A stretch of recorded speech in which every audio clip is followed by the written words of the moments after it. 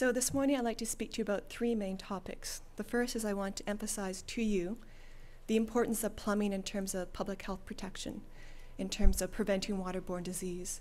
Plumbing is in many respects a key building block to protecting public health. Second, I'd like to speak a bit to the role of my organization, the World Health Organization, what we do in terms of internationally trying to reduce waterborne disease. And finally, I'd like to speak to the collaborative efforts of WHO and the World Plumbing Council. So globally, we see every year 1.8 million people dying from diarrhea disease, and 90% of these people who are dying are children under the age of five. In addition to that, when you have a diarrhea episode, you have reduced caloric intake and reduced nutrient intake. And as a result, you see delayed development of children, delayed growth of children. On top of that, we have millions of people who are exposed to high levels of arsenic and fluoride. And as a result, you have vulnerable populations who are suffering from crippling skeletal damage and cancer. So I want to give you some examples of why plumbing is important from a public health perspective. And I'll focus just on the developed country examples because we need to remember that as WHO, I'm here not only speaking to developing country issues, but developed country issues. Plumbing is an issue for developed and developing country, and I want to emphasize that. So according to a report published by CDC and the US EPA in their Morbidity and Mortality Weekly Report, from 1997 to 1998, we had three of their eight outbreaks in community water system caused by improper plumbing and cross connections at an individual facility, so at a restaurant and at an office building. Now, if you look at the numbers from the United Kingdom at the very bottom, they took a huge data set, 1911 to 1995, and their numbers again are, are fascinating. 36% of their waterborne disease outbreaks were caused by problems in the distribution system. Now, on top of health problems associated with plumbing, you also have major costs, big costs. If you look at the, um, I think it's called the Amoy Gardens in Hong Kong, they had the spread of SARS directly related to the plumbing issue, improper plumbing within the Amoy Gardens. And if you look at the total cost of SARS to Asian countries, it's $60 billion. So plumbing can have some pretty serious impacts financially. If you look at the transmission of foot and mouth disease from faulty plumbing drainage installation in Pirbright, United Kingdom, the total cost associated with that outbreak was 100 million pounds.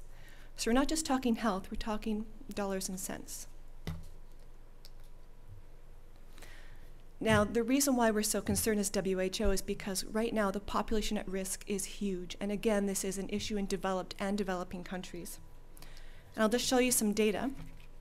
So this data is collected by the World Health Organization together with UNICEF, our partners in the Joint Monitoring Program. And what you can see here is that 50%, so 3.3 billion people in the world today are serviced by piped water. So they have plumbing within their homes. This number is continuing to grow. If you look at piped sanitation facilities connected to sewer water, right now 31% of the world's population has access. And so as WHO and as a plumbing industry, we need to ensure that the millions of new installations that are going in as these trends continue are put in properly. The challenge that we're currently experiencing is that we have limited recognition of plumbing as a important and critical profession in terms of public health protection. So next I want to speak to the role of my organization. What do we do? Um, do we install plumbing? No, we don't. Um, what we've been doing, I'll start at the very beginning. Um, shortly after WHO was formed in 1953, we conducted a survey of 71 different countries.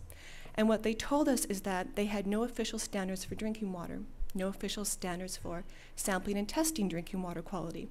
So the first order of business was in 1958, produced the international standards for drinking water. And essentially, these are the criteria for sampling and laboratory methods. And this was our very first document. It's continued to evolve over time, and it's still very much the foundation of our work. It's the cornerstone of our work. And so that's referring to the second one from the bottom, which is norms and standards. That's our work today. We do norms and standards, and we have what is the third edition of the guidelines for drinking water quality. And in it, we recommend um, values for over 150 different parameters chemical, physical, biological, um, and radiological. We've also evolved a bit more over time. We're now providing guidance on management. How do you properly manage um, a water supply system, a large water utility? And this is called our water safety plan approach, and essentially it's a risk management approach. And globally, what we see is that countries are taking the guidelines for drinking water quality and these guideline values, and they're incorporating them into their standards and their regulations. And we're also pleased to say that we're starting to see the water safety plan approach being directly reflected in regulations, such as in um, Scotland and in New Zealand. Now, in terms, oh, I also wanted to point out this is a really neat photo. This is from 1955 from the Philippines, and this is a chlorinometer. So they've gotten a bit smaller over time. So in terms of the other work we do, policy and advocacy, well, this year is 2008, and because of that, we are supporting and participating in the International Year of Sanitation. In terms of research, um, one example of the work we do is we're exploring alternatives to incinerating medical waste, trying to reduce the release of dioxins and mercury. In terms of partnerships, well, we work together with 72 countries in the Global Alliance of Vaccines and Immunizations, and we do it from a healthcare waste perspective. In terms of capacity, we are supportive of and we're supporting workshops and training sessions on things like the water safety plan approach, so helping countries in better managing their water sanitation and hygiene activities.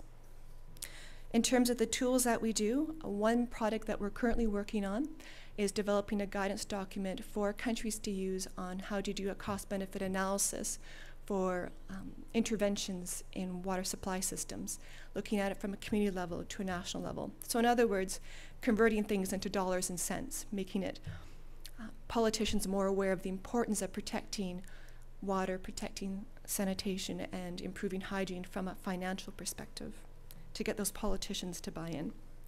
And another example of a kit we're working on with a number of organizations is to develop a low site, low cost on site test kit for E. coli. Oops.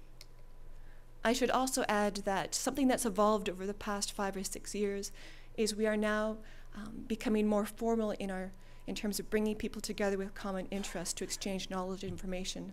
When I first started being exposed directly to WHO and their work, I was doing small water supply management, and they had just initiated an international network for small community water supplies. And for me, it was knowing that although I was running a national program, I felt like I was very much in a bubble. But suddenly I was exposed to all these different people from Iceland, from Bangladesh, who were dealing with the exact same challenges. And so it was a good way to begin to move forward on addressing my challenges within my particular country at that time.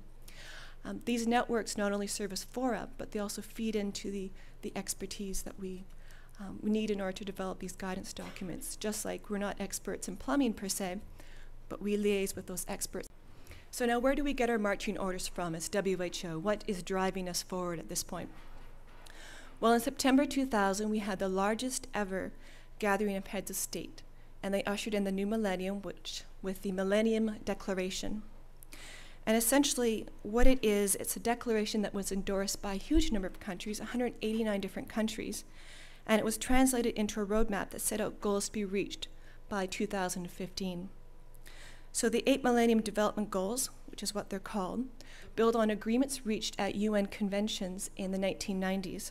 And they represent commitments of those 189 countries to reduce poverty and hunger, to tackle ill health, gender inequality, lack of education, lack of access to clean water, and environmental degradation. And in terms of where I work with water sanitation, hygiene, and health, the MDG that we follow is to halve between 1990 and 2015 the proportion of the population without improved drinking water and sanitation. So those are our marching orders, and that's what's been committed to by 189 different countries.